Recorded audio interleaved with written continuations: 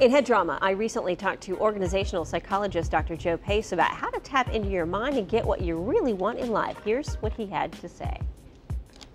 Well, first of all, it's interesting that when we're born, we're born with standard equipment in the brain to make us successful naturally.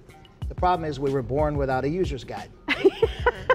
Isn't that the truth? yes. So, so what we do is we figure it out and, and we model uh, the people that were around us in the first five years of our lives. 85% of our personalities and our styles and who we are is established between the ages of three and five by people or individuals who are around us uh, parents, grandparents, nannies, uh, uh, school teachers.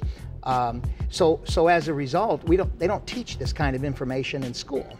In fact, less than 3% of the population actually understands how the mind works and how to use that information to become successful.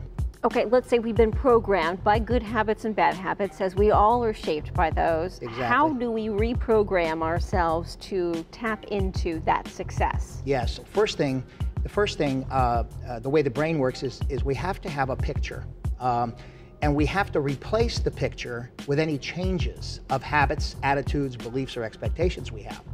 Now, therein lies the challenge because if, if uh, I work with many college students uh, who are first generation going to college, so they have no models. They really, they don't have the right study habits because they don't even know people who went to college. So uh, it becomes important to create pictures that you can see and feel.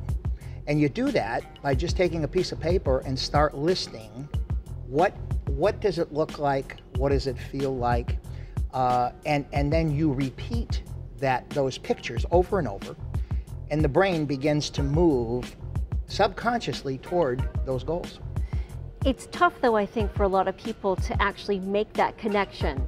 And you're saying, how long does this take most people to actually?